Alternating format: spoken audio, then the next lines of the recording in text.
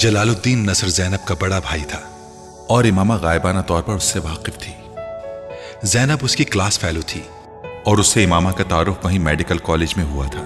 चंद माह में ही ये तारुफ अच्छी खासी दोस्ती में बदल गया। उस तारुफ में उसे ये पता चला कि वो लोग चार भाई बहन थे। जलाल सबसे बड़ा था और हाउस जॉब कर रहा था। जैनब के वालिद बापडा में इंजीनियर थे और उनका घराना काफ़ी मजहबी था। इस्लामाबाद से वापसी पर उसने जैनब से नात पढ़ने वाले उस शख्स के बारे में पूछा। जैनब, उस रात मैंने तुम्हें फ़ोन किया तो कोई नात पढ़ रहा था। वो कौन था? उसने अपने लहजे को हत्तुल इम्कान नॉर्मल रखते हुए कहा। वो वो जलाल भाई थे। एक मुकाबले में हिस्सा लेने के लिए वो नात याद कर रहे थे। फ़ोन कॉरिडोर में है और उनके कमरे का दरवाज़ा खुला था, इसलिए आवाज़ तुम तक पहुँच गई। जैनब ने तफसील से बताया। बहुत अच्छी आवाज़ है उनकी। हाँ आवाज़ तो बहुत अच्छी है उनकी। किरत तो नात से भी ज़्यादा खूबसूरत करते हैं। बहुत से मुकाबलों में इनाम भी ले चुके हैं। अभी भी कॉलेज में एक मुकाबला होने वाला है। तुम उसमें उन्हें सुनना। जैनब तब ये नहीं जानती थी कि इमामा किस मज़हब की थी। वो जिस तरह पर्दे का ख्याल रखती थी, जैनब का ख्याल था कि वो किसी मजहबी घराने से ताल्लुक रखती है। खुद जैनब भी खासे मजहबी घराने से ताल्लुक रखती थी और चादर ओढ़ा करती थी। दो तीन दिन बाद इमामा जलालुल नसर की नात सुनने के लिए अपने फ्रेंड्स को बताए बगैर क्लास बैंक करके नातों के इस मुकाबले में चली गई थी। जलालुल नसर को उस दिन पहली बार उसने देखा था। कॉम्पेयर ने जलालुल नसर का नाम पुकारा और इमामा ने तेज होती धड़कनों के साथ जैनब से मुशाबत रखने वाले, आम सी शक्ल सूरत और दाढ़ी वाले एक 24-25 साल लड़के को स्टेज पर चढ़ते देखा। स्टेज पर सीढ़ियाँ चढ़ने से लेकर रोस्ट्रम के पीछे आकर खड़े होने तक इमामा ने एक बार भी अपनी नज़र जलालुल नसर के चेहरे से नहीं हटाई। उसने उसे सीने पर हाथ बांधे और आँखें बंद करते देखा। कुछ नहीं माँगता, शाहों से ये शायदा तेरा। इसकी दौलत है फकत नक्शे कफे पा तेरा। इमामा को अपने पूरे वजूद में एक लहर सी दौड़ती महसूस हुई। हॉल में मुकम्मल खामोशी थी और सिर्फ़ उसकी खूबसूरत आवाज़ गूंज रही थी। वो किसी सहरजदा मामूल की तरह बैठी, उसे सुनती रही। उसने कब नात खत्म की, कब वो स्टेज से उतरकर वापस हुआ, मुकाबले का नतीजा क्या निकला? उसके बाद किस किसने नात पढ़ी? किस वक्त सारे स्टूडेंट वहाँ से गए और किस वक्त हॉल खाली हो गया? इमामा को पता ही नहीं चला। बहुत देर बाद उसे यकदम होश आया था। उस वक्त अपने इर्द गिर्द देखने पर उसे एहसास हुआ कि वो हॉल में अकेली बैठी थी। मैंने कल तुम्हारे भाई को नात पढ़ते सुना।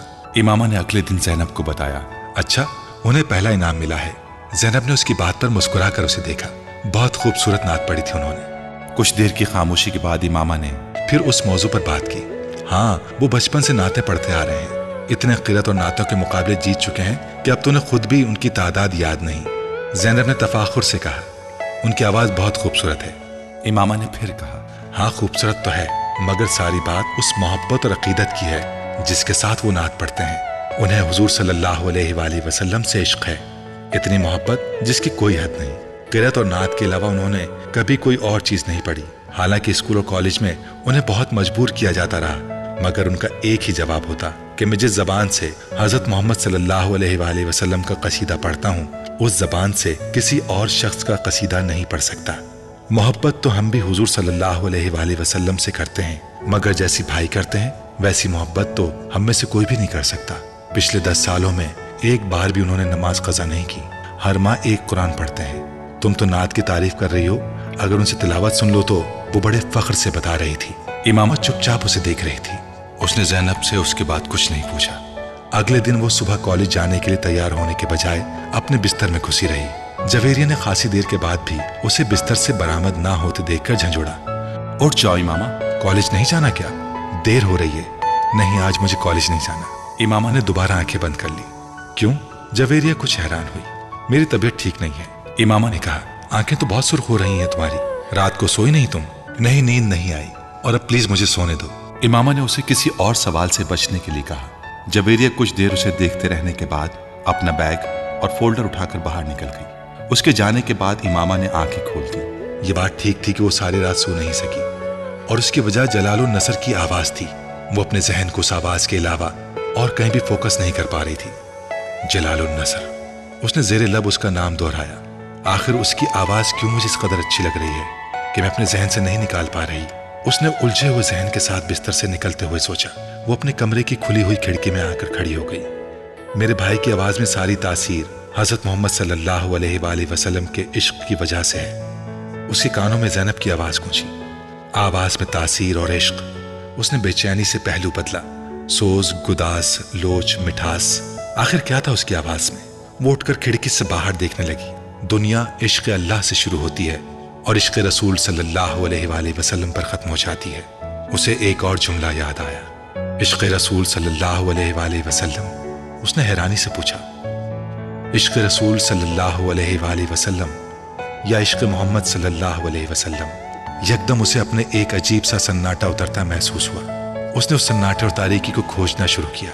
अपने अंदर सीढ़ी दर सीढ़ी उतरना शुरू किया। उसे कहीं कोई रोशनी नज़र नहीं आई। आखिर वो क्या चीज़ होती है? जो हज़रत मोहम्मद सल्लल्लाहु अलैहि वसल्लम का नाम सुनने पर लोगों की आँखों में आंसुओं और लबों पर दरूद ले आती है। अकीदत, इश्क, मोहब्बत इनमें से क्या है? मुझे कुछ क्यों महसूस नहीं होता? मेरी आँखों में आँसू क्यों नहीं आते? मेरे होठों पर दुरूद क्यों नहीं आता? मेरी आवाज़ में तासीर, वो लम्हा भर के लिए रुकी। उसने जेरे लब पढ़ा। कुछ नहीं माँगता शाहों से ये शैदा तेरा। इसकी दौलत है फकत नक्शे कफे पा तेरा। उसे अपनी आवाज़ फिर राई हुई महसूस हुई। शायद अभी जागी हूँ। इसलिए आवाज़ ऐसी है। उसने अपना गला साफ़ करते हुए सोचा। उसने एक बार फिर पढ़ना शुरू किया। कुछ नहीं माँगता। वो एक बार फिर रुक गई। इस बार उसकी आवाज़ में लर्जिश थी। उसने दोबारा पढ़ना शुरू किया। कुछ नहीं माँगता, शाहों से ये शैदा तेरा खिड़की से बाहर नज़रें मरकूज रखते हुए उसने लरसती भिर्राई आवाज़ कांपते होठों के साथ पहला मिसरा पढ़ा। फिर दूसरा मिसरा पढ़ना शुरू किया और रुक गई। खिड़की से बाहर खला में घूरते हुए वो एक बार फिर जलाल नसर की आवाज़ अपने कानों में उतरती महसूस कर रही थी। बुलंद, साफ़ वाजे और आजान की तरह दिल में उतर जाने वाली मुकद्दस आवाज़ उसे अपने गालों पर नमी महसूस हुई। यकदम वो अपने होश आवाज़ में आई और पता चला कि वो रो रही थी। कुछ देर जैसे वो बेयकीनी के आलम में वो अपने दोनों हाथों की उंगलियाँ दोनों आँखों पर रखे दम बखुद खड़ी रही। उसने अपने आप को बेबसी की इंतहा पर पाया। आँखों पर हाथ रखे वो आहिस्ता आहिस्ता घुटनों के बल वहीं ज़मीन पर बैठ गई और उसने फूट फूट कर रोना शुरू कर दिया। इंसान के लिए सबसे मुश्किल मरहला वो होता है जब उसका दिल किसी चीज़ की गवाही दे रहा हो, मगर उसकी जबान खामोश हो। जब उसका दिमाग चिल्ला चिल्ला कर किसी चीज़ की सदाकत का इकरार कर रहा हो, मगर उसके होंठ साकित हों। इमामा हाशिम की भी अपनी ज़िंदगी उसी मरहले पर आन पहुँची थी, जो फैसला वो पिछले दो तीन सालों में नहीं कर पा रही थी। वो फैसला एक आवाज़ ने चंद दिनों में करवा दिया था। ये जाने, ये खोजे, ये परखे बगैर, कि आखिर लोग क्यों हज़रत मोहम्मद सल्लल्लाहु अलैहि वसल्लम से इतनी अकीदत रखते हैं। आखिर क्यों इश्क रसूल सल्लल्लाहु अलैहि वसल्लम की बात की जाती है? उसने इतने साल अपने नबी के कसीदे सुने थे। उस पर कभी रिक्कत तारी नहीं हुई थी। कभी उसका वजूद मोम बनकर नहीं पिघला था। कभी उसे किसी पर रश्क नहीं आया था। मगर हर बार हज़रत मोहम्मद सल्लल्लाहु अलैहि वसल्लम का नाम पढ़ते, देखते और सुनते हुए वह अजीब सी कैफियत का शिकार होती थी। हर बार, हर दफ़ा उसका दिल उस नाम की तरफ़ खिंचता चला जाता था और सबिया के पास न जाने के उसके सारे इरादे भाप बनकर उड़ गए थे। जलालुल नसर की आवाज़ तारीकी में नज़र आने वाले जुगनू की तरह थी, जिसके ताकुब में वो बिना सोचे समझे चल पड़ी थी। मैं तुझे आलम अशिया में भी पा लेता हूँ। लोग कहते हैं कि है आलम बाला तेरा। इमामा के लिए वो एक नए सफ़र का आगाज़ था। वो पहले की तरह बाकायदगी से सबिया के पास जाने लगी। उन इज्तमात में शिरकत ने उसे अगर एक तरफ़ अपने फैसले पर इस्तकामत बख्शी तो दूसरी तरफ़ उसकी बाकी मानदा शुभात को भी दूर कर दिया। मज़हब तब्दील करने का फैसला इमामा के लिए कोई छोटा या मामूली फैसला नहीं था। उस एक फैसले ने उसकी ज़िंदगी के हर मामले को मुतासर किया था। वो अब असजद से शादी नहीं कर सकती थी, क्योंकि वो गैर मुस्लिम था। उसे जल्द या बदेर अपने घर वालों से अलहदगी भी इख्तियार करनी थी, क्योंकि वो अब ऐसे किसी माहौल में रहना नहीं चाहती थी। जहाँ इस्लामी शहार और अकायद में इतने धड़ल्ले से तहरीफात की जाती थी, वो उस पैसे के बारे में भी शकूक का शिकार होने लगी थी, जो उसे अपनी तालीम और दूसरे अखराज के लिए हाशिम मुबीन की तरफ़ से मिलते थे। चंद साल पहले तक परियों की कहानी नज़र आने वाली ज़िंदगी यकदम एक ड्रावने ख्वाब में तब्दील होकर रह गई थी और ज़िंदगी के इस मुश्किल रास्ते का इंतखाब उसने खुद किया था। उसे बाज दफ़ा हैरत होती कि उसने इतना बड़ा फैसला किस तरह कर लिया। उसने अल्लाह से इस्तकामत ही मांगी थी और उसे इस्तकामत से नवाजा किया था। मगर वो अभी इतनी कम उम्र थी कि खदशात और अंदेशों से मुकम्मल पीछा छुड़ा लेना उसके लिए मुमकिन नहीं था।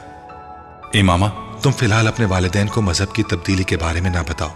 अपने पैरों पर खड़ी हो जाओ। उस वक्त ना सिर्फ़ तुम आसानी से असजद से शादी से इनकार कर सकती हो बल्कि उन्हें अपने मज़हब की तब्दीली के बारे में भी बता सकती हो।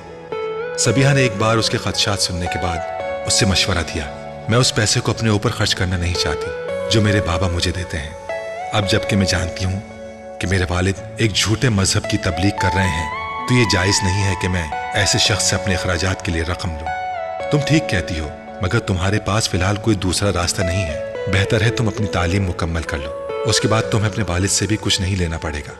सबिया ने उसे समझाया। सबिया अगर ये राह ना दिखाती, तब भी मामा इसके अलावा कुछ और नहीं कर सकती थी।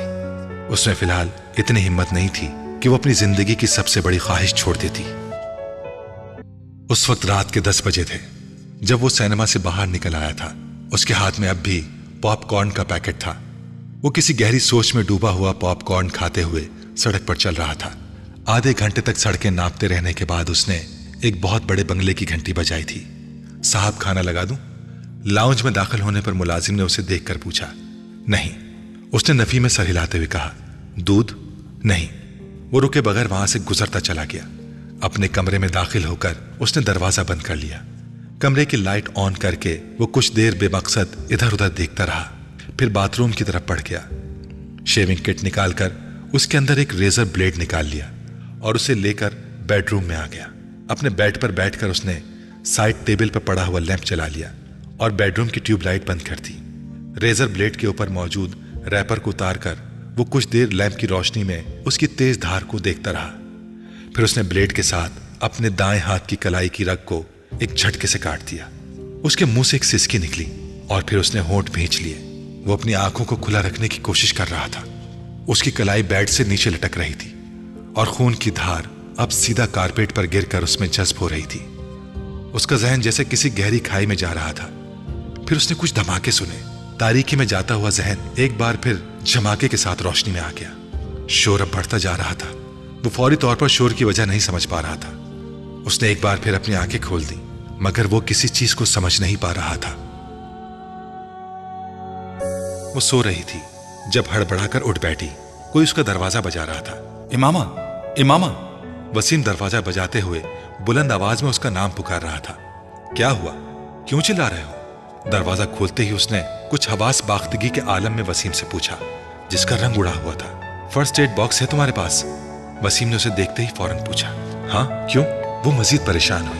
बस उसे लेकर मेरे साथ आ जाओ। वसीम ने कमरे के अंदर दाखिल होते हुए कहा, क्या हुआ? उसके पैरों के नीचे से जैसे ज़मीन खिसकने लगी।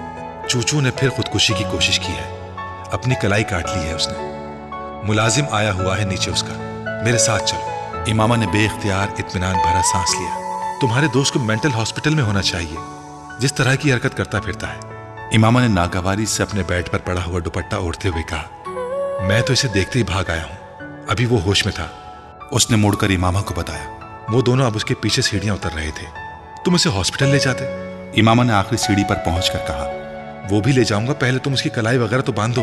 खून तो बंद हो वसीम, मैं उसे कोई बहुत अच्छी किस्म की फ़र्स्ट एड नहीं दे सकती। पता नहीं उसने किस चीज़ से कलाई काटी है और जख्म कितना गहरा है। उसके अपने घर वाले कहाँ हैं? बात करते करते इमामा को ख्याल आया। उसके घर में कोई भी नहीं है, सिर्फ़ मुलाजिम है। वो तो कोई फ़ोन कॉल आई थी, जिस पर मुलाजिम उसे बुलाने के लिए गया। जब अंदर से कोई जवाब नहीं आया तो परेशान होकर दूसरे मुलाजिमों के साथ मिलकर उसने दरवाज़ा तोड़ दिया। वो दोनों साथ साथ चलते हुए अब अपने घर से निकल आए। तुम्हारा ये दोस्त जो है ना, इमामा ने कुछ नाराज़गी के आलम में वसीम के साथ चलते हुए सालार के बारे में कुछ कहना चाहा। मगर वसीम ने गुस्से में पलटकर उसको झड़क दिया। फॉर गॉड सेक अपनी लानत मलामत बंद नहीं कर सकती तुम। उसकी हालत सीरियस है। और तुम उसकी बुराइयों में मसरूफ ऐसी हरकतें करने वालों के लिए मेरे पास कोई हमदर्दी नहीं है। वो दोनों अब सालार के लाउंज में पहुँच चुके थे। चंद कदम चलने के बाद वसीम एक मोड़ मुड़ा और कमरे के अंदर दाखिल हो गया। इमामा उसके पीछे ही थी, मगर फिर जैसे करंट खाकर रुक गई। कमरे के दरवाजे के अंदर दाखिल होते ही सामने कद आदम खिड़कियों पर कुछ मॉडल्स और एक्ट्रेसेस की बड़ी बड़ी उरिया तस्वीरें इस तरह लगाई गई थीं। कि एक लम्हे के लिए इमामा को यूँ लगा जैसे वो तमाम लड़कियाँ हकीकी तौर पर उस कमरे में मौजूद हैं। उसका चेहरा सुर्ख हो गया। एक तरफ़ बेड पर पड़े हुए जख्मी के बारे में उसकी राय कुछ और खराब हो गई। वो तस्वीरें उसके किरदार की पस्ती का एक और सबूत थी। और कमरे में तीन चार लोगों की मौजूदगी में उसके लिए वो तस्वीरें खासी खिफत और शर्मिंदगी का बायस बन रही थीं। उन तस्वीरों से नज़रें चुराते हुए वो तेज़ी से डबल बेड की तरफ़ आ गई, जहाँ सालार सिकंदर लेटा हुआ था। वसीम उसके पास बेड पर बैठा फ़र्स्ट एड बॉक्स खोल रहा था। जबकि इमामा का बड़ा भाई सालार की, उस कलाई को बेडशीट के एक लटके हुए कोने के साथ दबाकर खून रोकने की कोशिश कर रहा था। जबकि खुद सालार नशे में डूबे, किसी इंसान की तरह अपना दाया हाथ छुड़वाने की कोशिश कर रहा था। वो वसीम और वहाँ मुलाजिमों से कुछ कह भी रहा था। इमामा के आगे बढ़ते ही उसके बड़े भाई ने उस कुर्सी को छोड़ दिया, जिस पर वो बैठे थे। उसके जख्म को देखो, मैंने चादर से खून रोकने की कोशिश की है, मगर मैं कामयाब नहीं हुआ। उन्होंने उसकी कलाई इमामा को थमाते हुए कहा। इमामा ने कुर्सी पर बैठते ही उसकी कलाई के गिर्द लिपटा हुआ कोना हटाया। जख्म बहुत गहरा और लंबा था। एक नज़र डालते ही उसे अंदाज़ा हो गया था। सालार ने फिर एक झटके के साथ अपना हाथ खींचने की कोशिश की। मगर इमामा मजबूती से कलाई के कुछ नीचे से उसका बाजू पकड़े रही। वसीम, बस बैंडेज निकाल दो। ये जख्म बहुत गहरा है। यहाँ कुछ नहीं हो सकता। बैंडेज करने से खून रुक जाएगा। फिर तुम लोग इसे हॉस्पिटल ले जाओ। उसने एक नज़र नीचे कारपेट पर जज्ब होते हुए खून पर डाली। वसीम तेज़ी से फ़र्स्ट एड बॉक्स में से बैंडेज निकालने लगा। सालार ने बेड पर लेटे लेटे अपने सर को झटका दिया और आँखें खोलने की कोशिश की। उसकी आँखों के सामने अब धुंधलाहट सी थी, मगर उसके बावजूद उसने अपने बेड से कुछ फासले पर बैठी हुई उस लड़की और उसके हाथ में मौजूद अपने बाजू को देखा। कुछ मुश्तिल होकर उसने एक और झटके के साथ अपना हाथ उस लड़की के हाथ से आज़ाद करवाने की कोशिश की। हाथ आज़ाद नहीं हुआ। मगर दर्द की एक तेज लहर ने बेख्तियार करहाने पर मजबूर कर दिया था। उसे चंद लम्हों के लिए यही महसूस हुआ था जैसे उसकी जान निकल गई। मगर अगले ही लम्हे वो एक बार फिर हाथ छुड़ाने की कोशिश कर रहा था। तुम लोग दफ़ा हो जाओ। जाओ। कहाँ से आ गए हो? उसने कुछ मुश्तिल होकर लड़खड़ाते हुए लहचे में कहा यह मेरा कमरा है। तुम लोगों को अंदर आने की ज़रूरत कैसे हुई? तुम तुम, वसीम, तुम दफ़ा हो जाओ। Get lost just get lost bloody bastard उसने बुलंद आवाज़ में मगर लड़खड़ाती जबान से कहा। इमामा ने उसके मुँह से निकलने वाली गाली को सुना। एक लम्हे के लिए उसके चेहरे का रंग बदला, मगर वो फिर उसका हाथ मजबूती से पकड़े बैठी रही। उसने वसीम से कॉटन लेकर कराते हुए सालार की कलाई के जख्म पर रख दी, जो हाथ को खींचने और हिलाने से बाज नहीं आ रहा था। और वसीम के हाथ से लेकर लपेटना शुरू कर दिया। सालार ने धुंधलाई आँखों के साथ अपनी कलाई के गिर्द किसी चीज़ की नरमी को महसूस किया। कुछ बेबसी और झुंझलाहट के आलम में, सालार ने अपने बाएँ हाथ के ज़ोर से अपने दाएँ हाथ को छुड़ाने की कोशिश की थी। धुंधलाई आँखों के साथ उसका आगे बढ़ने वाला बायां हाथ लड़की के सर से टकराया था। उसके सर से न सिर्फ़ दुपट्टा उतरा था, बल्कि उसके बाल भी खुल गए थे। इमामा ने हड़बड़ा कर उसे देखा, जो एक बार फिर अपना बायां हाथ आगे ला रहा था। इमामा ने अपने बाएँ हाथ से उसकी कलाई को पकड़े रखा, जबकि दाएँ हाथ में पकड़ी बैंडेज छोड़कर अपनी पूरी कुवत से अपना दायां हाथ उसके दाएँ गाल पर दे मारा। थप्पड़ इतना जन्नाटेदार था कि एक लम्हे के लिए सालार की आँखों के सामने छाई हुई धुंध छट गई। खुले मोर आँखों के साथ दम बखुद उसने लड़की को देखा था, जो सुर्ख चेहरे के साथ बुलंद आवाज़ में उससे कह रही थी, अब अगर तुम हिले तो मैं तुम्हारा दूसरा हाथ भी काट दूँगी। सुना तुमने?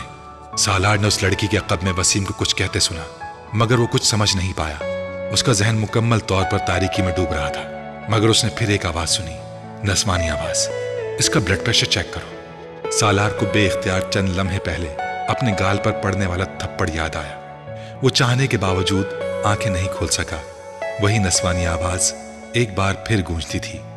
मगर इस बार वो उस आवाज़ को कोई मफहूम नहीं पहना सका। उसका जहन मुकम्मल तौर पर तारीकी में डूब गया था। अगली बार जब उसे होश आया तो वो एक प्राइवेट क्लिनिक में मौजूद था। आँखें खोलकर उसने एक बार फिर अपने इर्द गिर्द देखने की कोशिश की। कमरे में उस वक्त एक नर्स मौजूद थी, जो उसके पास खड़ी ड्रिप को सही करने में मसरूफ थी। सालार ने उसे मुस्कुराते देखा था। वो उससे कुछ कहना चाह रहा था, मगर उसका जहन एक बार फिर तारीकी में डूब गया। दूसरी बार उसे कब होश आया, उसे अंदाज़ा नहीं हुआ। मगर दूसरी बार आँखें खोलने पर उसने उस कमरे में कुछ शनासा चेहरे देखे थे। उसे आँखें खोलते देखकर मम्मी उसकी तरफ़ बढ़ाई थी। कैसा महसूस कर रहे हो तुम? उन्होंने उस पर झुकते हुए बेताबी से कहा, जस्ट फाइन। सालार ने दूर खड़े सिकंदर उस्मान को देखते हुए धीमे लहजे में कहा, इससे पहले कि उसकी मम्मी कुछ और कहती, कमरे में मौजूद एक डॉक्टर आगे आ गया था। वो उसकी नब्स चेक करने लगा था। डॉक्टर ने इंजेक्शन लगाने के बाद एक बार फिर उसे ड्रिप लगाई। सालार ने कुछ बेजारी के साथ ये कार्रवाइयाँ देखी। ड्रिप लगाने के बाद वो सिकंदर उस्मान और उसकी बीवी से बातें करने लगा। सालार उस गुफ्तगु के दौरान छत को घूरता रहा। फिर कुछ देर बाद डॉक्टर कमरे से निकल गया। कमरे में बिल्कुल खामोशी थी। सिकंदर उस्मान और उसकी बेगम अपना सर पकड़े बैठे थे। उनकी तमाम कोशिशों और एहतियात के बावजूद ये सालार सिकंदर की खुदकुशी की चौथी कोशिश थी और इस बार वो वाकई मरते मरते बचा था। डॉक्टर्स के मुताबिक अगर चंद मिनटों की ताखिर हो जाती तो वो उसे बचा नहीं सकते थे। सिकंदर और उनकी बीवी को मुलाजिम ने रात दो बजे सालार की खुदकुशी की इस कोशिश के बारे में बताया था। वो दोनों मियाँ बीवी पूरी रात सो नहीं सके थे। सिकंदर उस्मान ने सुबह फ़्लाइट मिलने तक तकरीबन डेढ़ सौ सिगरेट फूंक डाले थे, मगर उसके बावजूद उनकी बेचैनी और इस तरह में कमी नहीं हो पा रही थी। मेरी समझ में नहीं आता ये आखिर इस तरह की हरकतें क्यों करता है। आखिर इस पर हमारी नसीहतों और हमारे समझाने का असर क्यों नहीं हुआ? सिकंदर उस्मान ने दौरान सफ़र कहा। मेरा तो दिमाग फटने लगा है, जब मैं उसके बारे में सोचता हूँ। क्या नहीं किया मैंने उसके लिए? हर सहूलत, बेहतरीन तालीम, हत्या के बड़े से बड़े साइकेट्रिस्ट को दिखा चुका हूँ, मगर नतीजा वही ढाक के तीन बात मेरी तो समझ में नहीं आता कि मुझसे क्या गलती हो गई है, जो मुझे ये सजा मिल रही है। जानने वालों के दरमियान मज़ाक बन गया हूँ मैं इसकी वजह से। सिकंदर उस्मान बहुत परेशान थे। हर वक्त मेरा दम हलक में अटका रहता है कि पता नहीं वो किस वक्त क्या कर गुजरे। इतनी एहतियात बरतने का नतीजा ये निकला है कि एक बार हम गाफिल हुए और फिर वही हरकत कर गुजरा है। तैयबा ने अपनी आँखों में उमटते हुए आंसुओं को टिश्यू के साथ साफ़ किया। वो दोनों उसी तरह की बातें करते हुए कराची से इस्लामाबाद आए थे। मगर सलार के सामने आकर दोनों को चुप लग गई थी। उन दोनों को ही समझ में नहीं आ रहा था कि वो इस हालत में उससे क्या कहें। सालार को उनकी दिली और जहनी कैफियत का अच्छी तरह अंदाज़ा था और उनकी खामोशी को वो गनीमत जान रहा था।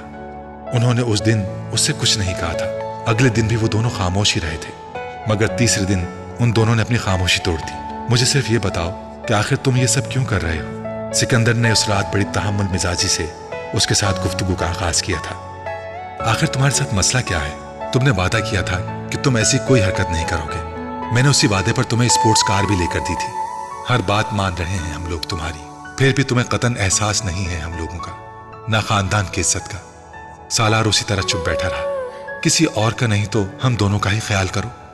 तुम्हारी वजह से हमारी रातों की नींदें उड़ गई हैं। तैयबा ने कहा, तुम्हें कोई परेशानी, कोई प्रॉब्लम है तो हमसे डिस्कस करो। हमसे कहो। मगर इस तरह मरने की कोशिश करना तुमने कभी सोचा है कि अगर तुम इन कोशिशों में कामयाब हो जाते तो हमारा क्या होता? सालार खामोशी से उनकी बातें सुन रहा था। उनकी बातों में कुछ भी नया नहीं था। खुदकुशी की हर कोशिश के बाद वो उनसे इसी तरह की बातें सुनता था। कुछ बोलो, चुप क्यों हो?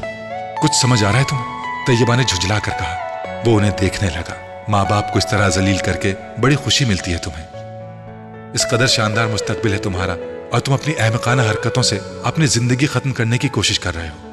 लोग तरसते हैं इस तरह के एकेडमिक रिकॉर्ड के लिए। सिकंदर उस्मान ने उसे उसका एकेडमिक रिकॉर्ड याद दिलाने की कोशिश की। सालार ने बेख्तियार एक जमा ही ली। वो जानता था अब वो उसके बचपन से लेकर उसकी अब तक की कामयाबियों को दोहराना शुरू करेंगे। अगले पंद्रह मिनट उस मौजू पर बोलने के बाद उन्होंने थक कर पूछा, आखिर तुम कुछ बोल क्यों नहीं रहे हो? बोलो, मैं क्या बोलूँ? सब कुछ तो आप दोनों ने कह दिया। सालार ने कुछ उकताए हुए अंदाज में कहा, मेरी ज़िंदगी मेरा पर्सनल मामला है। फिर भी मैंने आपको बताया है कि दरअसल मैं मरने की कोशिश नहीं कर रहा था। सिकंदर ने उसकी बात काटी। तुम जो भी कर रहे थे, वो मत करो। हम पर कुछ रहम खाओ। सालार ने नाराजी से बाप को देखा। तुम आखिर ये क्यों नहीं कह देते कि तुम आइंदा ऐसी हरकत नहीं करोगे?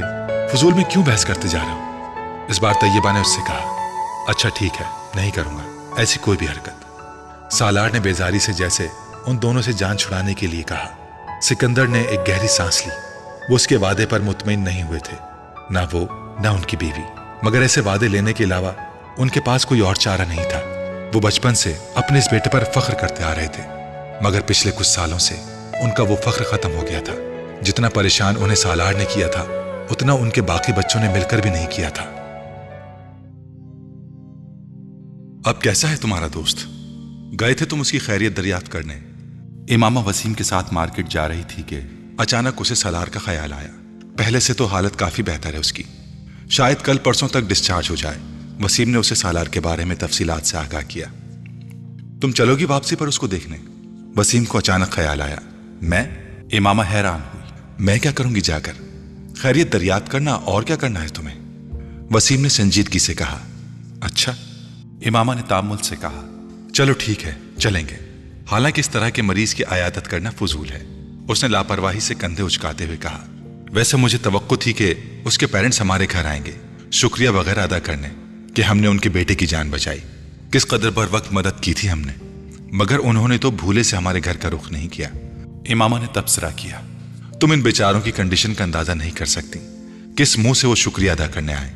और फिर अगर कोई ये पूछ बैठे कि आपके बेटे ने ऐसी हरकत क्यों की तो वो दोनों क्या जवाब देंगे?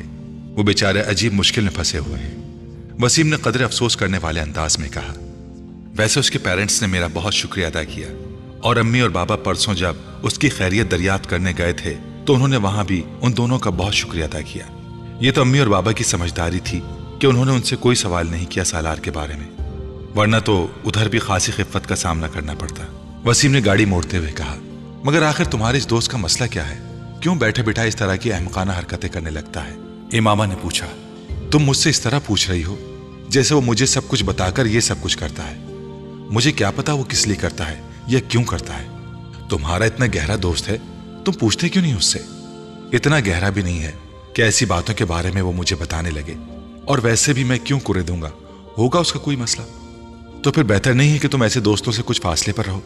ऐसे लोगों से दोस्ती अच्छी नहीं होती। अगर कल को तुमने भी इस तरह की हरकतें शुरू कर दी तो?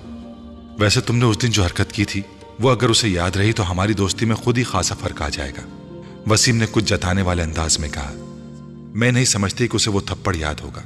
सही तौर पर होश में तो नहीं था। तुमने ज़िक्र किया उससे इस बारे में? इमामा ने पूछा, नहीं, मुझसे कहा तो नहीं, मगर हो सकता है कि उसे याद हो। तुमने अच्छा नहीं किया था। उसने हरकत ही ऐसी की थी। एक तो अपना हाथ खींच रहा था, दूसरे गालियाँ दे रहा था, और ऊपर से मेरा दुपट्टा भी खींच लिया। उसने दुपट्टा नहीं खींचा था, उसका हाथ लगा था। वसीम ने सालार का दिफा करते हुए कहा, जो भी था, उस वक्त तो मुझे बहुत गुस्सा आया था, मगर बाद में मुझे बहुत अफसोस हुआ था, और मैंने तो अल्लाह का शुक्र अदा किया कि वो बच गया। अगर कहीं वो मर जाता तो मुझे तो बहुत ही पछतावा होता अपने इस थप्पड़ का। इमामा ने कदर माजत खाना अंदाज में कहा, चलो तुम आज जा रही हो तो माजरत कर लेना वसीम ने मशवरा दिया। क्यों एक्सक्यूज करूँ? हो सकता है उसे कुछ याद ही ना हो। फिर मैं खामा खा गड़े मुर्दे उखाड़ूं, उसे याद दिलाऊं कि मैंने उसके साथ क्या किया था। इमामा ने फ़ौरन कहा और फ़र्ज़ करो, उसे सब कुछ याद हुआ तो तो तो क्या होगा? वो कौन सा हमारा रिश्तेदार है? कि उससे ताल्लुकात खराब हो जाएँगे या मेल जोल में फ़र्क पड़ेगा? इमामा ने लापरवाही से जवाब दिया। शॉपिंग करने के बाद वसीम उसे क्लिनिक ले आया, जहाँ सालार जेर इलाज था। वो दोनों जिस वक्त उस कमरे में दाखिल हुए, उस वक्त वो सूप पीने में मसरूफ था। सालार ने वसीम के साथ आने वाली लड़की को देखा और फ़ौरन पहचान लिया था। अगरचे उस रात उस हालत में वो उसे शिनाख्त नहीं कर सका। मगर उस वक्त उसे देखते ही वो उसे पहचान गया था। अपनी मम्मी से ये बात वो पहले ही जान चुका था कि वसीम की बहन ने उसे फ़र्स्ट एड दी थी, मगर उसे वो फ़र्स्ट एड याद नहीं थी। बस वो जन्नाटेदार थप्पड़ याद था, जो उस रात उसे पड़ा था। इसलिए इमामा को देखते ही वो सूप पीते पीते रुक गया।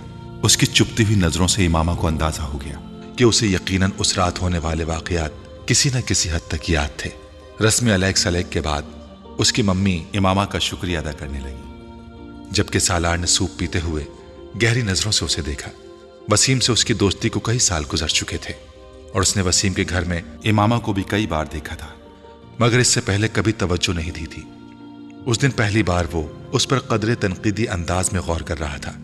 उसके दिल में इमामा के लिए तशक्र या एहसान मंदी के लिए कोई जज्बात नहीं थे। उसकी वजह से उसके सारे प्लान का बेड़ा गर्क हो गया था। इमामा उसकी मम्मी से गुफ्तगु में मसरूफ थी, मगर वो वक्ता फवक्तन अपने ऊपर पड़ने वाली उसकी नज़रों से भी वाकिफ थी। ज़िंदगी में पहली बार उसे किसी की नज़रें इतनी बुरी लगी थी। एक लम्हे के लिए उसका दिल चाह वो उठकर वहाँ से भाग जाए। सालार के बारे में उसकी राय और भी खराब हो गई थी। वो अपने उस थप्पड़ के लिए माजरत के इरादे से वहाँ आई थी। मगर उस वक्त उसका दिल चाहा उसे दो चार और थप्पड़ लगा दे। थोड़ी देर वहाँ बैठने के बाद फ़ौरन ही वापस जाने के लिए उठ खड़ी हुई और वापस जाते हुए उसने सालार के साथ अलैक सलेक का तकल्लुफ भी नहीं किया था। वो सिर्फ़ उसकी मम्मी के साथ दुआ सलाम के बाद सालार की तरफ़ देखे बगैर बाहर निकल आई थी और बाहर आकर उसने सुकून का सांस लिया था। इस तरह के दोस्त बनाए हुए हैं तुमने, उसने बाहर निकलते ही वसीम से कहा, जिसने कुछ हैरानी से उसे देखा। क्यों? अब क्या हुआ? उसे देखने तक की तमीज नहीं है। इस बात का एहसास तक नहीं है कि मैं उसके दोस्त की बहन हूँ और उसके दोस्त के साथ उसके कमरे में मौजूद हूँ। वसीम उसकी बात पर कुछ खफीफ सा हो गया। यह आदमी इस काबिल नहीं कि इसकी अयादत के लिए जाया जाए और तुम इससे मेल जोल बंद कर दो। अच्छा ठीक है मैं मोहतात रहूँगा। अब तुम बार बार इस बात को ना दोहराओ। वसीम ने मौजू गुफ्तु बदलने की कोशिश करते हुए कहा इमामा दानिस्ता तौर पर खामोश हो गई। मगर सालार उसके नापसंदीदा अफराद की लिस्ट में शामिल हो चुका था। एक इतफाक ही था कि वो उन दिनों कुछ छुट्टियाँ गुजारने इस्लामाबाद आई हुई थी वरना शायद सालार से उसका इतना करीबी और इतना नापसंदीदा तारुफ और ताल्लुक कभी पैदा ना होता। इस्लाम कबूल करने के बाद उसने पहली बार जलालुल नसर को तब करीब से देखा, जब एक दिन वो चारों कॉलेज के लॉन में बैठी गुफ्तगु में मसरूफ थी। वो वहाँ किसी काम से आया। रस्मी से अलग सलेक के बाद वो जैनब के साथ चंद कदम दूर जाकर खड़ा हुआ था। इमामा उसके चेहरे से नज़रें नहीं हटा सकी। एक अजीब सी मुसरत और खुशी का एहसास उसे घेरे में ले रहा था। वो चंद मिनट जैनब से बात करने के बाद वहीं से चला गया। इमामा उसकी पुश्त पर नज़रें जमाए। उस वक्त तक उसे देखती रही, जब तक वो नज़रों से उछल नहीं हो गया। उसके इर्द गिर्द बैठी, उसके फ्रेंड्स क्या बातें कर रही थी, उसे उस वक्त उसका कोई एहसास नहीं था। जब वो उसकी नज़रों से उछल हुआ तो एकदम जैसे दोबारा अपने माहौल में वापस आ गई। जलालुल नसर से उसकी दूसरी मुलाकात जैनब के घर पर हुई थी। उस दिन वो कॉलेज से वापसी पर जैनब के साथ उसके घर आई थी। जैनब कुछ दिनों से उन सबको अपने यहाँ आने के लिए कह रही थी। बाकी सबने कोई ना कोई बहाना बना दिया था। मगर इमामा उस दिन उसके साथ उसके घर चली आई थी। उसके घर आकर उसे अजीब से सुकून का एहसास हुआ था।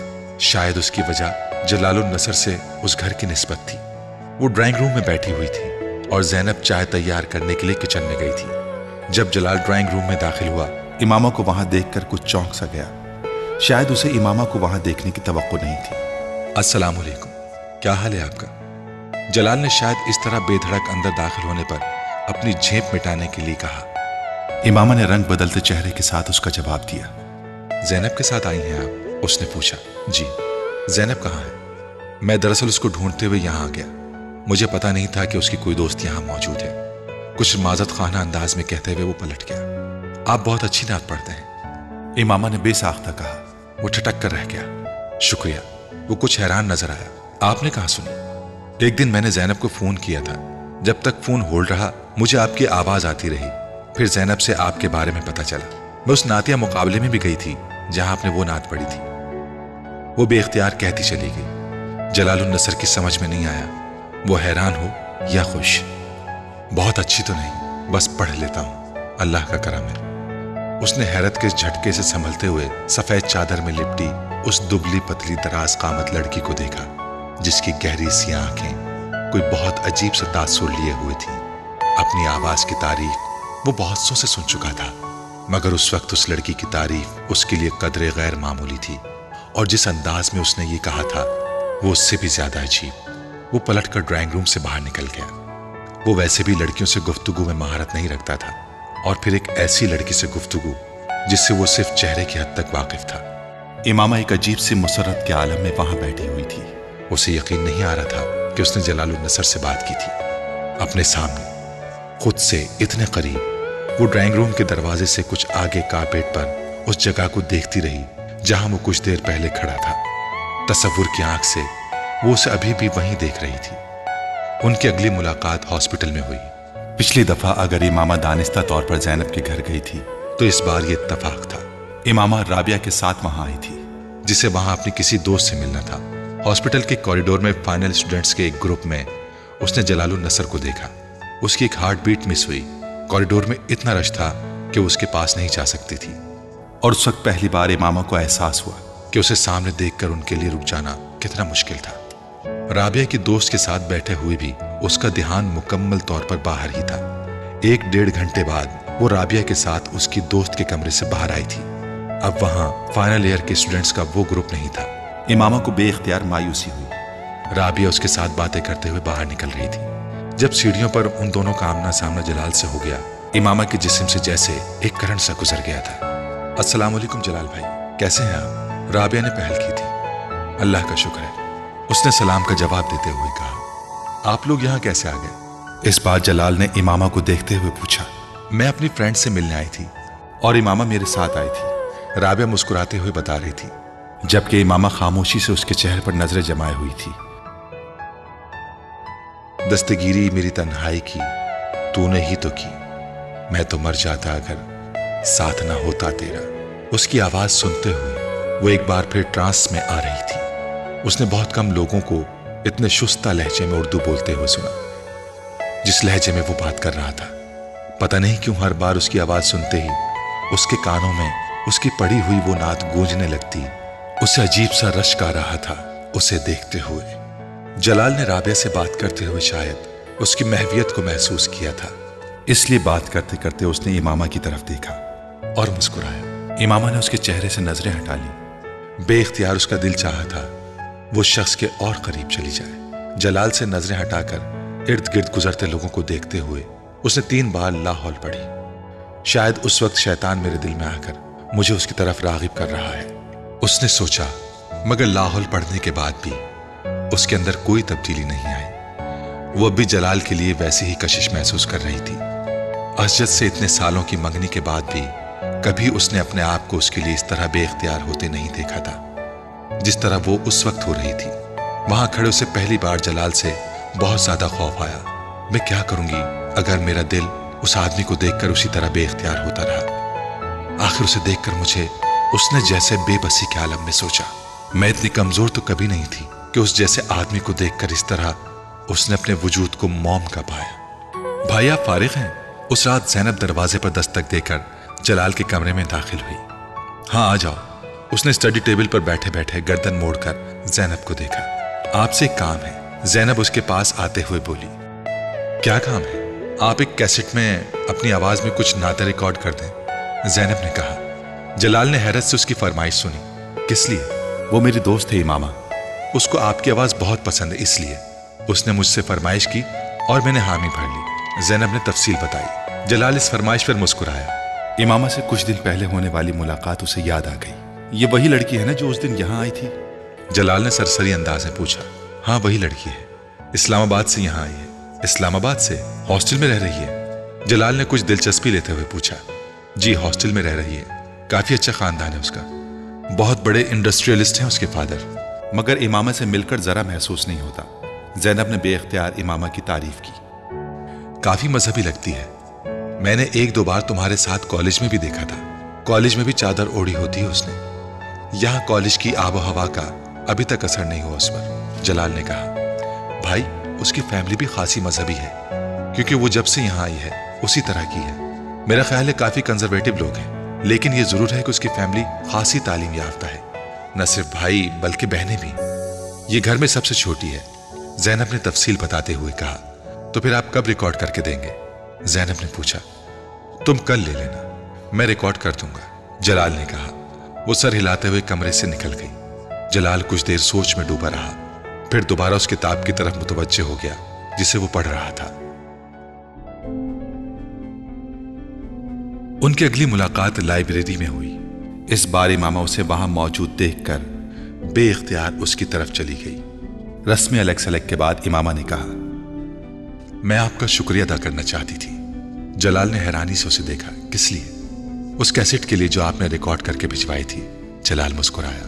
नहीं, उसकी ज़रूरत नहीं। मुझे अंदाज़ा नहीं था कि कभी कोई मुझसे ऐसी फरमाइश कर सकता है। आप बहुत खुशकिस्मत हैं। इमामा ने मध्यम आवाज़ में उसे देखते हुए कहा, मैं? किस हवाले से? जलाल ने एक बार फिर हैरान होते हुए पूछा, हर हवाले से। आपके पास सब कुछ है। आपके पास भी तो बहुत कुछ है। वो जलाल की बात पर अजीब से अंदाज में मुस्कुराई। जलाल को शुबा हुआ कि उसकी आँखों में कुछ नमी नमूदार हुई थी, मगर वो यकीन से नहीं कह सकता था। वो अब नज़रें झुकाए हुए थी। पहले कुछ भी नहीं था, अब बाकी सब कुछ है।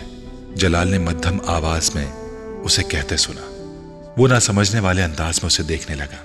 आप इतनी मोहब्बत से रसूल सल्लल्लाहु अलैहि वसल्लम का नाम लेते हैं तो मैं सोचती हूँ कि मैंने अपनी बात अधूरी छोड़ दी। जलाल खामोशी से उसकी बात मुकम्मल होने का इंतज़ार करता रहा। मुझे आप पर रश्क आता है। चंद लम्हे बाद वो आहिस्ता से बोली, सब लोगों को तो इस तरह की मोहब्बत नहीं होती, जैसी मोहब्बत आपको हज़रत मोहम्मद सल्लल्लाहु वसल्लम से है। हो भी जाए तो हर कोई इस तरह मोहब्बत का इजहार नहीं कर सकता, कि दूसरे भी रसूल सल्लल्लाहु अलैहि वसल्लम की मोहब्बत में गिरफ़्तार होने लगे।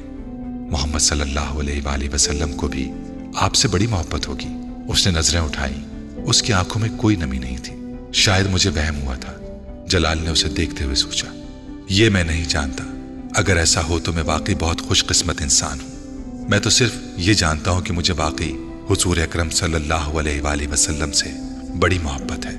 मुझ जैसे लोगों के लिए इतना ही काफ़ी है। हर एक को अल्लाह इस मोहब्बत से नहीं नवाजता। वो बड़ी रसानियत से कह रहा था। इमामा उसके चेहरे से नज़रें नहीं हटा सकी।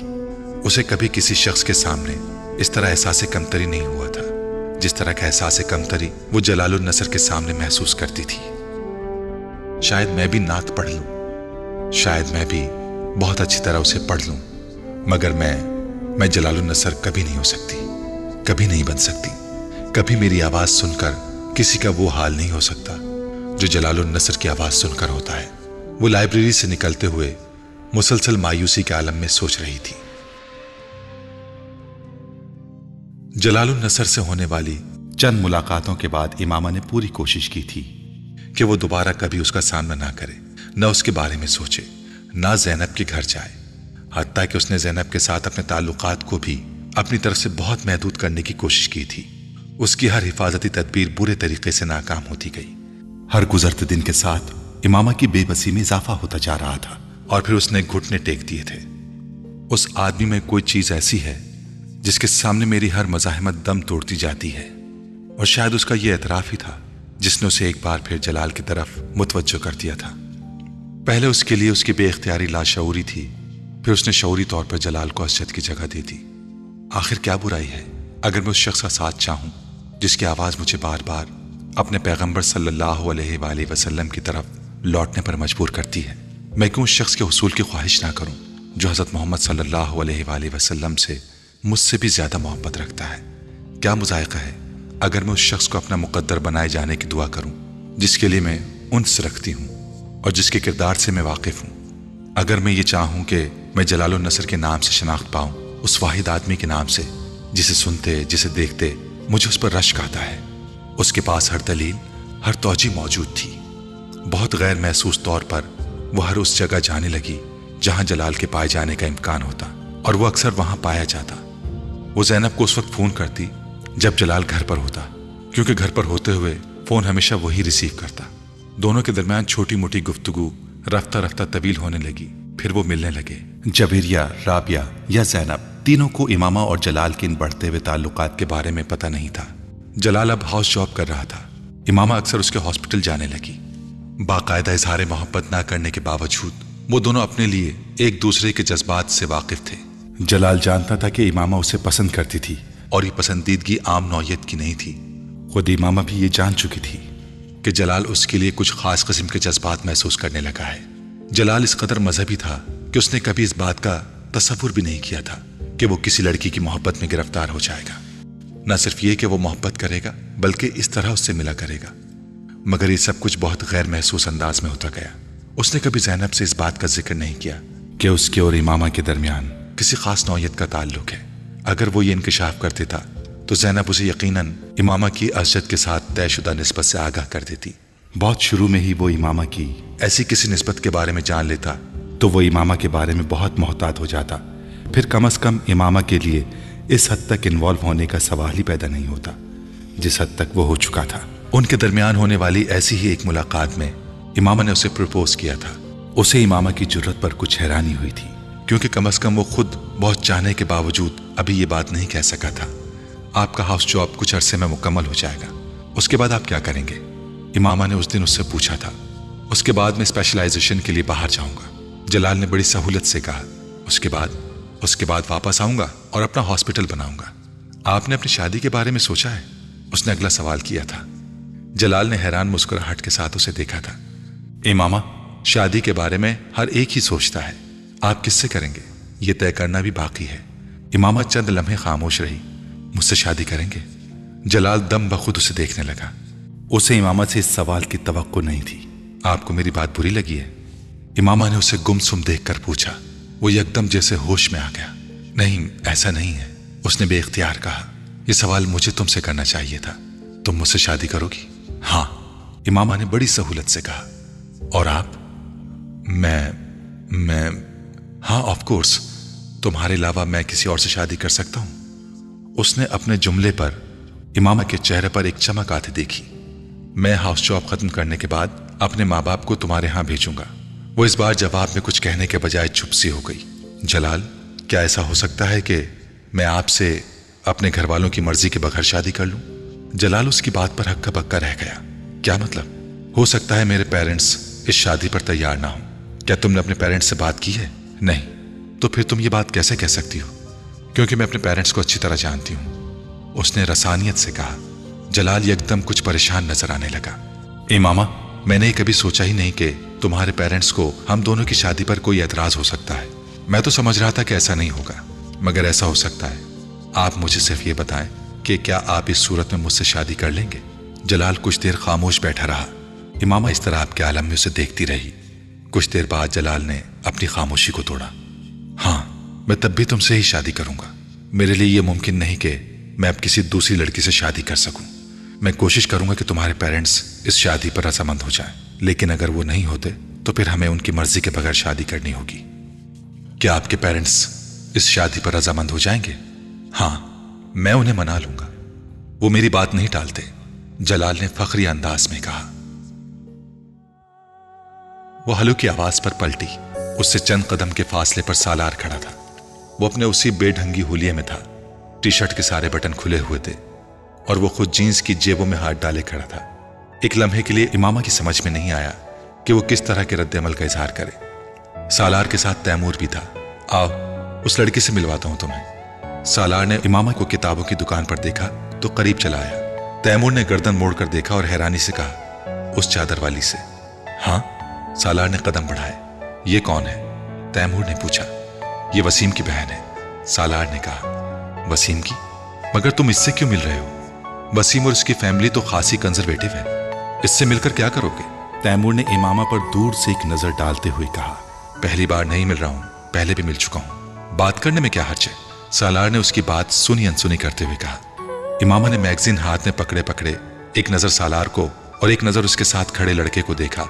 जो तकरीबन सालार जैसे हुलिये में ही था।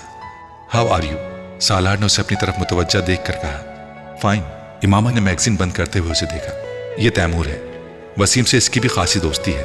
सालार ने तारुफ कराया। इमामा ने एक नज़र तैमूर को देखा। फिर हाथ के इशारे से शॉपिंग सेंटर के एक हिस्से की तरफ़ इशारा करते हुए कहा, वसीम वहाँ है। सालार ने गर्दन मोड़कर उसकी तरफ़ देखा, जिस तरफ़ उसने इशारा किया था, और फिर कहा, मगर हम वसीम से मिलने तो नहीं आए? तो इमामा ने संजीदगी से कहा, आपसे बात करने आए हैं। मगर मैं तो आपको नहीं जानती। फिर आप मुझसे क्या बात करने आए हैं? इमामा ने सर्द महरी से कहा, उसे सालार की आँखों से वहशत होने लगी थी। काश ही किसी से नज़र झुकाकर बात करना सीख लेता, खासतौर पर किसी लड़की से। उसने मैगजीन दोबारा खोल लिया। आप मुझे नहीं जानती। सालार मज़ाक उड़ाने वाले अंदाज में हंसा। आपके घर के साथ ही मेरा घर है। यकीनन है, मगर आपको जाती तौर पर नहीं जानती। उसने उसी रुखाई से मैगजीन पर नज़रें जमाए हुए कहा चंद माह पहले आपने एक रात मेरी जान बचाई थी। सालार ने मज़ाक उड़ाने वाले अंदाज में उसे याद दिलाया। मेडिकल की स्टूडेंट होने की हैसियत से यह मेरा फ़र्ज़ था। मेरे सामने कोई भी मर रहा हो, मैं यही करती। अब मुझे एक्सक्यूज करें। मैं कुछ मसरूफ हूँ। सालार उसके कहने के बावजूद टस से मस नहीं हुआ। तैमूर ने उसके बाजू को हौले से खींचकर चलने का इशारा किया। शायद उसे वसीम के हवाले से इमामा का लिहाज था, मगर सालार ने अपना बाजू छुड़ा लिया। मैं उस रात आपकी मदद के लिए शुक्रिया अदा करना चाहता था। हालाँकि आपने मुझे प्रोफेशनल तरीके से ट्रीटमेंट नहीं दिया था। इस बार सालार ने संजीदगी से कहा, इमामा ने उसकी बात पर मैगजीन से नज़रें हटाकर उसे देखा। आपका इशारा अगर उस थप्पड़ की तरफ़ है तो हाँ वो बिल्कुल प्रोफेशनल नहीं था और मैं उसके लिए माजरत करती हूँ। मैंने उसे माइंड नहीं किया। मेरा इशारा उस तरफ़ नहीं था। सालार ने लापरवाही से कहा, मुझे तो थी कि आप उस थप्पड़ को माइंड नहीं करेंगे, क्योंकि उसी के मुस्तक थे, एक नहीं दस। उसने जुमले का आधा हिस्सा जब्त कर लिया। वैसे आपका इशारा किस तरफ़ था? बेहद थर्ड क्लास तरीके से बैंडेज की थी आपने मेरी। और आपको प्रॉपर तरीके से ब्लड प्रेशर चेक करना नहीं आता। सालार ने लापरवाही से कहते हुए च्विंगम की एक स्टिक अपने मुँह में डाली। इमामा के कान की लोएँ सुर्ख हो गई। वो पलकें झपकाए बगैर उसे देखती रही। अफसोसनाक बात है कि एक डॉक्टर को ऐसे मामूली काम नहीं आते हों, जो किसी भी आम आदमी को आते हैं। इस बार उसका अंदाज फिर मज़ाक उड़ाने वाला था। मैं डॉक्टर नहीं हूँ। मेडिकल के इब्तदाई सालों में हूँ। पहली बात, और जहाँ तक अनप्रोफेशनल होने का ताल्लुक है तो अगली बार सही। आपने तो अभी इस तरह की कई कोशिशें करनी है। मैं आहिस्ता आहिस्ता आप पर प्रैक्टिस करके अपना हाथ साफ़ कर लूँगी। एक लम्हे के लिए कुछ नहीं बोल सका, फिर उसके चेहरे पर मुस्कुराहट उभरी। यूँ, जैसे वो उसकी बात पर महसूस हुआ था, मगर शर्मिंदा नहीं। उसने उसका इजहार भी कर दिया। अगर आप मुझे शर्मिंदा करने की कोशिश कर रही हैं तो तो आप इसमें नाकाम होंगी। मैं जानती हूँ आप शर्मिंदा नहीं होते। ये सिर्फ़ सिर्फ़ इंसानों में होती है। इमामा ने उसकी बात काट दी। आपके ख्याल में मैं क्या हूँ? सालार ने उसी अंदाज में कहा, पता नहीं, एक वेट इस बारे में आपको ज़्यादा बेहतर गाइड कर सकेगा। वो इस बार उसकी बात पर हंसा। दो पैरों पर चलने वाले जानवर को हर मेडिकल डिक्शनरी इंसान कहती है। और मैं दो पैरों पर चलता हूँ। रीछ से लेकर कुत्ते तक हर चार पैरों वाला जानवर दो पैरों पर चल सकता है, अगर उसे ज़रूरत पड़े या उसका दिल चाहे तो। मगर मेरे चार पैर नहीं, और फिर मैं ज़रूरत के वक्त नहीं, हर वक्त ही दो पैरों पर चलता हूँ। सालार ने अजीब अंदाज में अपने लफ्जों पर ज़ोर देते हुए कहा यह आपकी खुशकिस्मती है कि आपके चार पैर नहीं हैं। इसीलिए मैंने आपको वेट से मिलने को कहा। वो आपको आपकी खसूसियत के बारे में सही बताएगा। इमामा ने सर्द आवाज़ में कहा, वो उसे जिच करने में वाकई कामयाब हो चुका था। वैसे जितनी अच्छी तरह से आप जानवरों के बारे में जानती हैं, आप एक बहुत अच्छी वेट साबित हो सकती हैं। आपके इल्म से खासा मुतासर हुआ हूँ मैं। इमामा के चेहरे की सुर्खी में कुछ और इजाफा हो गया। अगर आप मेरी वेट बन जाएँ तो मैं आपके बताए हुए मशवरे के मुताबिक आप ही के पास आया करूँगा, ताकि आप मेरे बारे में रिसर्च करके मुझे बता सकें। सालार ने बड़ी संजीदगी से कहा, वो इसकी बात के जवाब में कुछ नहीं कह सकी, सिर्फ़ उसे देख कर रह गई। वो ज़रूरत से कुछ ज़्यादा ही मुँह फट था, और ऐसे शख्स के साथ लंबी गुफ्तगु करना आ बैल मुझे मार के मुतरादित था, और वो ये हिमाकत कर चुकी थी। वैसे आप क्या फ़ीस चार्ज करेंगी? वो बड़ी संजीदगी से पूछ रहा था। ये वसीम बता देगा। इमामा ने इस बार उसे धमकाने की कोशिश की। चलें, ठीक है। मैं वसीम से पूछ लूँगा। इस तरह तो खासी आसानी हो जाएगी। वो उसकी धमकी को समझने के बावजूद मरऊब नहीं हुआ। और उसने इमामा को यह जता भी दिया। तैमूर ने एक बार फिर उसका बाजू पकड़ लिया। आओ, सालार, चलते हैं। मुझे एक ज़रूरी काम याद आ रहा है। उसने उजलत के आलम में सालार को अपने साथ तकरीबन घसीटने की कोशिश की, मगर सालार ने तवज्जो नहीं दी। चलते हैं, यार। इस तरह खींचो तो मत। वो इस तरह कहते हुए एक बार फिर इमामा की तरफ़ मुतवजह हो गया। बहरहाल, ये सब मज़ाक था। मैं वाकई आपका शुक्रिया अदा करने आया था। आपने और वसीम ने काफ़ी मदद की मेरी। गुड बाय वो कहते हुए वापस मुड़ गया। इमामा ने बे इख्तियार एक सुकून का सांस लिया। वो शख्स वाकई क्रैक था। उसे हैरत हो रही थी कि वसीम जैसा शख्स कैसे उस आदमी के साथ दोस्ती रख सकता है? वो एक बार फिर मैगजीन के वर्क उलटने लगी। सालार आया था तुम्हारे पास। वसीम ने उसके पास आकर पूछा दूर से सालार और तैमूर को देख लिया था। हाँ इमामा ने एक नज़र उसे देखा और एक बार फिर मैगजीन देखने लगी। क्या कह रहा था? वसीम ने कुछ तजस्स से पूछा, मुझे हैरत होती कि तुमने उस जैसे शख्स के साथ दोस्ती कैसे कर ली? मैंने ज़िंदगी में इससे ज़्यादा बेहुदा और बदतमीज लड़का नहीं देखा। इमामा ने उखड़े हुए लहजे में कहा, मेरा शुक्रिया अदा कर रहा था और साथ मुझसे कह रहा था कि मुझे बैंडेज तक ठीक से करनी नहीं आती। ना मैं ब्लड प्रेशर चेक कर सकती हूँ। वसीम के चेहरे पर मुस्कुराहट आई। उसको दफ़ा करो, ये अकल से पैदल है। मेरा तो दिल चाह रहा था कि मुझे दो हाथ और लगाऊँ, उसके होश ठिकाने आ जाए। मुँह उठाकर अपने दोस्त को लेकर पहुँच गया यहाँ। भाई, किसने कहा है तुमसे शुक्रिया अदा करने को? और मुझे तो वो दूसरा लड़का भी खासा बुरा लगा। वो कह रहा था कि तुम्हारी उसके साथ भी दोस्ती है। इमामा को अचानक याद आया। दोस्ती तो नहीं, बस जान पहचान है। वसीम ने वजाहत पेश की। तुम्हें ऐसे लड़कों के साथ जान पहचान रखने की भी ज़रूरत नहीं है।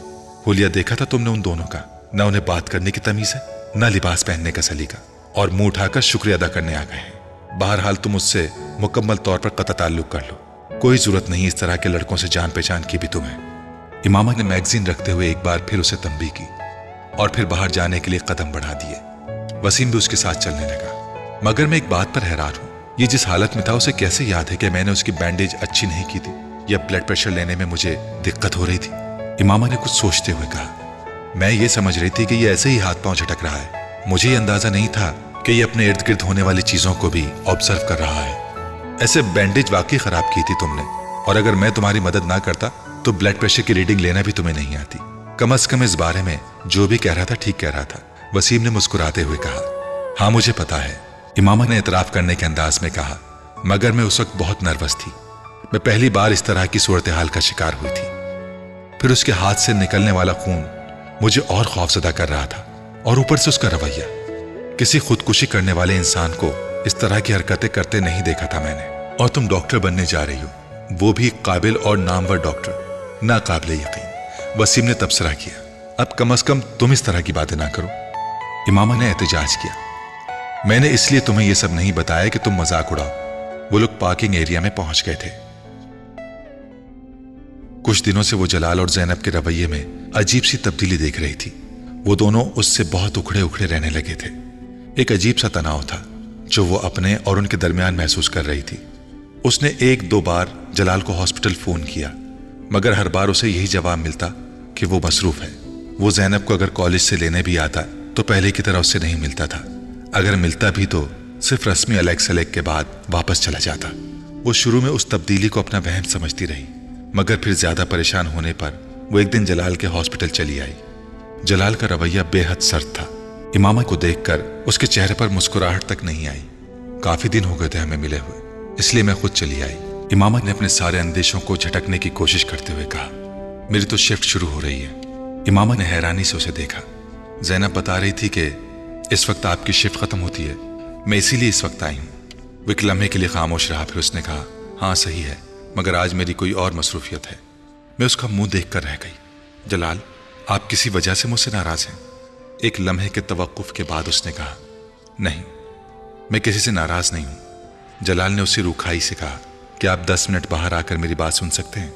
जलाल कुछ देर उसे देखता रहा, फिर उसने अपना ओवरऑल अपने बाजू पर डाल लिया और कुछ कहे बगैर कमरे से बाहर निकल आया।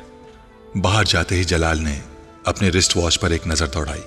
ये शायद उसके लिए बात शुरू करने का इशारा था। आप मेरे साथ इस तरह मिसबिहेव क्यों कर रहे हैं? क्या मिसबिहेव कर रहा हूँ? जलाल ने अक्खड़ अंदाज में कहा, आप बहुत दिनों से मुझे इग्नोर कर रहे हैं। हाँ कर रहा हूँ। इमामा को तो नहीं थी कि वो इतनी सफ़ाई से इस बात का एतराफ करेगा, क्योंकि मैं तुमसे मिलना नहीं चाहता। वो कुछ लम्हों के लिए कुछ नहीं बोल सकी। क्यों? ये बताना ज़रूरी नहीं। उसने उसी तरह खड़ंदाज में कहा, मैं जानना चाहती हूँ कि आपका रवैया एकदम क्यों तब्दील हो गया है? कोई ना कोई वजह तो होगी इसकी। इमामा ने कहा हाँ वजह है। मगर मैं तुम्हें बताना ज़रूरी नहीं समझता। बिल्कुल उसी तरह, जिस तरह तुम बहुत सी बातें मुझे बताना ज़रूरी नहीं समझती। मैं मैं, वो उसका मुँह देखने लगी। मैंने कौन सी बातें आपको नहीं बताई? ये कि तुम मुसलमान नहीं हो। जलाल ने बड़े तल्ख लहजे में कहा, इमामत सांस तक नहीं ले सकी। क्या तुमने ये बात मुझसे छुपाई नहीं? जलाल, मैं बताना चाहती थी। इमामा ने शिकस्त खोर्द अंदाज में कहा, चाहती थी मगर तुमने बताया तो नहीं। धोखा देने की कोशिश की तुमने। जलाल, मैंने आपको धोखा देने की कोशिश नहीं की। इमामा ने जैसा एहतजाज किया। मैं आपको धोखा क्यों दूँगी? मगर तुमने किया यही है, जलाल ने सर झटकते हुए कहा। जलाल, मैं, जलाल ने उसकी बात काट दी। तुमने जानबूझकर मुझे ट्रैप किया। इमामा की आँखों में आँसू आ गए। ट्रैप किया? उसने जेर लब जलाल के लफ्जों को दोहराया। तुम जानती थी कि मैं पैगंबर सल्लल्लाहु अलैहि वसल्लम से इश्क करता हूँ। वो शिकस्त खोरदा अंदाज में उसे देखती रही। शादी तो दूर की बात है। अब जब मैं तुम्हारे बारे में सब कुछ जान गया हूँ तो मैं तुमसे कोई ताल्लुक नहीं रखना चाहता। तुम दोबारा मुझे मिलने की कोशिश मत करना, जलाल ने दो टोक अंदाज में कहा। जलाल, मैं इस्लाम कबूल कर चुकी हूँ, उसने मध्यम आवाज़ में कहा। ओह कम मोहन जलाल ने तहकीर आमेज अंदाज में अपना हाथ झटका। यहाँ खड़े खड़े तुमने मेरे लिए इस्लाम कबूल कर लिया। इस बार वो मज़ाक उड़ाने वाले अंदाज में हंसा। जलाल, मैं आपके लिए मुस्लिम नहीं हुई। आप मेरे लिए एक ज़रिया ज़रूर बने हैं। मुझे कई माह हो गए इस्लाम कबूल किए। और अगर आपको मेरी बात पर यकीन नहीं है तो मैं आपको सबूत दे सकती हूँ। आप मेरे साथ चलें। इस बार जलाल कुछ उलझे हुए अंदाज में उसे देखने लगा। मैं मानती हूँ मैंने आपकी तरफ़ पेशकदमी खुद की। आपके बकौल, मैंने आपको ट्रैप किया। मैंने ट्रैप नहीं किया। मैं सिर्फ़ बेबस थी आपके मामले में। मुझे खुद पर काबू नहीं रहता था। आपकी आवाज़ की वजह से। आप जानते हैं, मैंने आपको बताया था, पहली बार आपको नात पढ़ते सुना तो मैंने क्या महसूस किया था? आपको अगर मेरे बारे में पहले ही ये सब कुछ पता चल जाता तो आप मेरे साथ यही सुलूक करते जो आप कर रहे हैं। मुझे सिर्फ़ इस बात का अंदेशा था, जिसकी वजह से मैंने आपसे बहुत कुछ छुपाए रखा था। बाज बातों में इंसान को अपने ऊपर इख्तियार नहीं होता।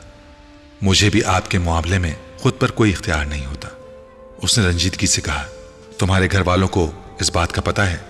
नहीं, मैं उन्हें नहीं बता सकती। मेरी मंगनी हो चुकी है। मैंने आपको इस बारे में भी नहीं बताया। वो एक लम्हे के लिए रुकी। मगर मैं वहाँ शादी नहीं करना चाहती। मैं आपसे शादी करना चाहती हूँ। मैं सिर्फ़ अपनी तालीम मुकम्मल होने का इंतज़ार कर रही हूँ। तब मैं अपने पैरों पर खड़ी हो जाऊँगी और फिर मैं आपसे शादी करूँगी। चार पाँच साल बाद जब मैं डॉक्टर बन जाऊँगी तो शायद मेरे पेरेंट्स आपसे मेरी शादी पर इस तरह एतराज़ ना करें, जिस तरह वो अब करेंगे। अगर मुझे ये खौफ ना हो कि वो मेरी तालीम खत्म करवा कर मेरी शादी असजद से कर देंगे तो शायद मैं उन्हें इस बात के बारे में बता देती। कि मैं इस्लाम कबूल कर चुकी हूँ। मगर मैं अभी पूरी तरह उन पर डिपेंडेंट हूँ। मेरे हाथ बंधे हुए हैं। आप वाहिद रास्ता थे जो मुझे नज़र आया। मुझे वाकई आपसे मोहब्बत है। फिर मैं आपको शादी की पेशकश ना करती तो और क्या करती? आप इस सूरत हाल का अंदाज़ा नहीं कर सकते, जिसका सामना मैं कर रही हूँ। मेरी जगह पर होते तो आपको अंदाज़ा होता कि मैं झूठ बोलने के लिए कितनी मजबूर हो गई थी। जलाल कुछ कहे बगैर पास मौजूद लकड़ी की बेंच पर बैठ गया। वो अब मजीद परेशान नज़र आ रहा था। इमामा ने अपनी आँखें पहुँच ली। क्या आपके दिल में मेरे लिए कुछ भी नहीं है? सिर्फ़ इसलिए मेरे साथ इन्वॉल्व हैं, क्योंकि मैं आपसे मोहब्बत करती हूँ। जलाल ने उसके सवाल का जवाब देने के बजाय उससे कहा, इमामा, बैठ जाओ। पूरा पेंडोरा बॉक्स खुल गया है मेरे सामने। अगर मैं तुम्हारी सूरत हाल का अंदाज़ा नहीं कर सकता तो तुम भी मेरी पोजीशन को नहीं समझ सकती इमामा उससे कुछ फासले पर रखी बेंच पर बैठ गई। मेरे वालदेन कभी गैर मुस्लिम लड़की से मेरी शादी नहीं करेंगे। कत नज़र इसके के मैं उससे मोहब्बत करता हूँ या नहीं?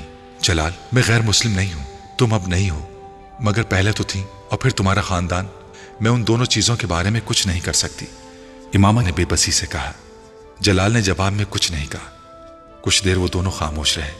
क्या आप अपने पेरेंट्स की मर्ज़ी के बगैर मुझसे शादी नहीं कर सकते? कुछ देर बाद इमामा ने कहा यह बहुत बड़ा कदम होगा। जलाल ने नफी में सर हिलाते हुए कहा, और बिलफर्जी काम करने का सोच भी लूँ तो भी नहीं हो सकता। तुम्हारी तरह मैं भी अपने पेरेंट्स पर डिपेंडेंट हूँ। जलाल ने अपनी मजबूरी बताई। मगर आप हाउस जॉब कर रहे हैं। चंद सालों में स्टेब्लिश हो जाएँगे। इमामा ने कहा, मैं हाउस जॉब के बाद स्पेशलाइजेशन के लिए बाहर जाना चाहता हूँ और ये मेरे पेरेंट्स की माली मदद के बगैर नहीं हो सकता। स्पेशलाइजेशन के बाद ही वापस आकर अपनी प्रैक्टिस स्टेब्लिश कर सकता हूँ। तीन चार साल अपनी स्टडीज़ खत्म करने में भी लग जाएँगे। जलाल ने उसे याद दिलाया। फिर इमामा ने उसे मायूसी से देखा। फिर यह कि मुझे सोचने का वक्त हो। शायद मैं कोई रास्ता निकाल सकूँ। तुम्हें छोड़ना नहीं चाहता, मगर मैं अपना करियर भी खराब नहीं कर सकता। मेरा प्रॉब्लम सिर्फ़ यह है कि मेरे पास कुछ भी नहीं है, जो कुछ है माँ बाप का है, और वो अपनी सारी जमा पूंजी मुझ पर खर्च कर रहे हैं। ये सोचकर कि मैं कल को उनके लिए कुछ करूँगा, वो बात करते करते रुका। क्या ऐसा नहीं हो सकता कि तुम्हारे वालदेन अपनी मर्ज़ी से तुम्हारी शादी मुझसे कर दें? इस सूरत में कम अज कम मेरे वालदेन को यह एतराज़ तो नहीं होगा कि तुमने अपने वालदेन की मर्ज़ी के खिलाफ उन्हें बताए बगैर मुझसे शादी की। वो जलाल का चेहरा देखने लगी। मैं नहीं जानती, ऐसा हो सकता है या नहीं। मैं कुछ भी नहीं कह सकती। वो मेरी बात मानेंगे या नहीं। मैं, इमामा ने कुछ मायूसी के आलम में बात अधूरी छोड़ दी। जलाल बात मुकम्मल होने का इंतज़ार करता रहा। मेरी फैमिली में आज तक किसी लड़की ने अपनी मर्ज़ी से बाहर किसी लड़के से शादी नहीं की। मैं ये नहीं बता सकती कि उनका रद्द अमल क्या होगा। मगर मैं ये ज़रूर बता सकती हूँ कि उनका रद्द अमल बहुत बुरा होगा। बहुत बुरा। वो मुझसे बहुत मोहब्बत करते हैं। लेकिन मुझे ये इजाज़त नहीं दे सकते कि मैं इतना बड़ा कदम उठाऊं। आपको अंदाज़ा होना चाहिए मेरे बाबा को कितनी शर्मिंदगी और बेजती का सामना करना पड़ेगा। सिर्फ़ मेरे लिए तो वो सब कुछ नहीं बदल देंगे। अगर मुझे अपनी फैमिली से मदद की तो होती तो मैं घर से बाहर सहारों की तलाश में होती, ना ही आपसे इस तरह की मदद मांग रही होती। धीमे लहजे में अपनी आवाज़ की लर्जिश पर काबू पाते हुए उसने जलाल से कहा, इमामा, मैं तुम्हारी मदद करूँगा। मेरे पेरेंट्स मेरी बात नहीं टालेंगे। समझाने में कुछ वक्त लगेगा, मगर मैं तुम्हारी मदद करूँगा। मैं उन्हें मना लूँगा। तुम ठीक कहती हो, मुझे तुम्हारी मदद करनी चाहिए। वो पुरसोच, मगर उलझे हुए अंदाज में उससे कह रहा था। इमामा को अजीब सी ढारस हुई। उसे जलाल से यही तो थी। इमामा ने सोचा, मेरा इंतखाब गलत नहीं है।